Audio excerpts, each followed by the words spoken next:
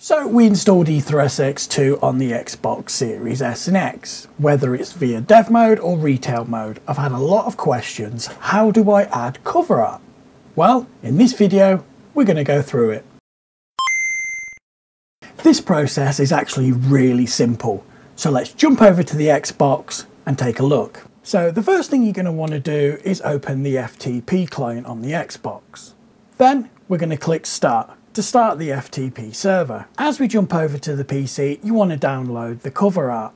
Link is in the description. It's a one gig file, you just need to unzip it. So here we are on the PC. We've got FileZilla open and here's all our cover art. Again, the link for this is in the description. You want to copy and paste all the covers into this folder. So I've highlighted all the covers and I'm going to drag and drop them all into the cover folder. Now please note, all these covers, although they do add up to one gigabyte, there's over 9,000 covers here, so it can take some time. So let's fast forward this bit.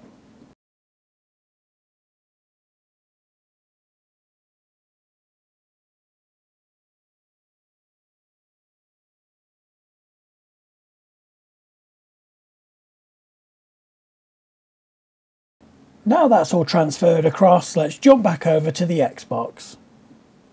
So now all the covers have been transferred across, we can stop the FTP server. And we can also close the FTP client. Now, if we jump back over to the Xbox Aether-SX2 app, let's go into the game list and look at that. All the covers have been populated. Now, there is over 9,000 covers in the collection, so you should actually have every single cover for every single game. But of course, I can't guarantee that. But for me at least, all the covers showed up nicely. Don't forget, if you do need additional help or support, there's a link in the description below for our Discord server. Hop on on, put your question in there, and someone will get back to you. If you enjoy my content, please help me out and support me by subscribing, liking the video, and leaving a comment. I'm JP, You've been watching Alien Retro Gaming, and I'll catch you in the next one.